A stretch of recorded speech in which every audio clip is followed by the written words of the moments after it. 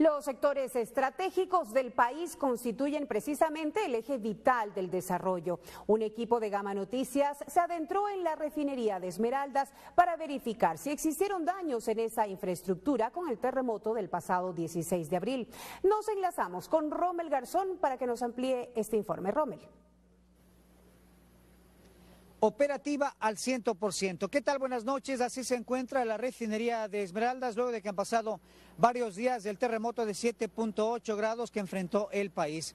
Aquí se registraron a propósito de ese evento algunas pequeñas fugas, pequeños daños que fueron remediados de manera prácticamente inmediata. Hicimos un recorrido por la refinería y les tenemos un informe. Veamos. Buenas. Somos de Gama TV, ¿cómo está? Desde el ingreso la seguridad es vital. Con el equipo colocado se inició el recorrido.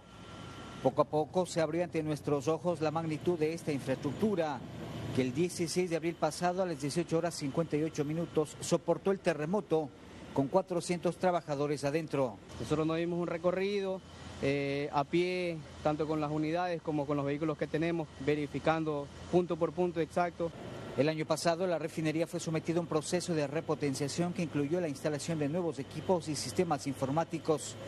El día del terremoto, las ocho unidades de procesos y servicios auxiliares salieron de operación automáticamente. Estos equipos dejaron de, operar, quedaron estáticos. ¿Por la vibración? Por las vibraciones. O sea, tiene unos sensores, entiendo la refinería, que cuando hay mucha vibración se para. Efectivamente, entonces se para. La fuerza del terremoto provocó daños menores como fugas de gas y vapor, caída de ladrillos internos gordos y desalineación de bombas, entre otros. Sin embargo, no hubo afectaciones tanto personales, ni al ambiente, ni a las infraestructuras, únicamente daños menores. Se revisó también las bases de concreto y las estructuras de equipos grandes de manera minuciosa para determinar cuarteaduras u otros daños. Se trata de una estructura de una altitud de aproximadamente un edificio de 30 pisos. Estamos en el corazón mismo de una de las ocho plantas que tiene la refinería de Esmeraldas, que ha sido rehabilitada. Aquí está el reactor, el regenerador y la columna principal. Aquí se produce principalmente gasolina de alto tonaje y gas de uso doméstico. Un recorrido que hemos realizado por esta refinería, vemos que las estructuras prácticamente están intactas, no fueron afectadas por el terremoto del pasado 16 de abril.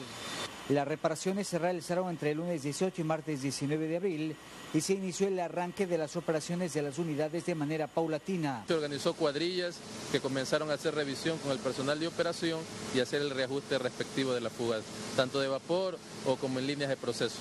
¿Pusieron en riesgo la vida de las personas de estas fuerzas en algún momento? No, porque la refinería estuvo fuera de servicio. Al momento la refinería trabaja al 100% con una producción de 110 mil barriles diarios de gas licuado de petróleo, gasolinas super y extra, jet fuel y diésel. En consumo nacional no ha habido ningún eh, desabastecimiento de combustibles ni lo habemos. El despacho es normal a través de poliductos y tanqueros. Con Jorge Albán, Romel Garzón, Gama Noticias. Como vemos entonces los despachos son absolutamente normales a través de tanqueros y también eh, por los poliductos. Eh, se trata de 110 mil barriles de derivados diarios que se producen desde esta refinería. Ese es el informe, regresamos a los estudios. Buenas noches. Muchísimas gracias, Rommel. Importante conocer que la refinería de Esmeralda se encuentra totalmente operativa.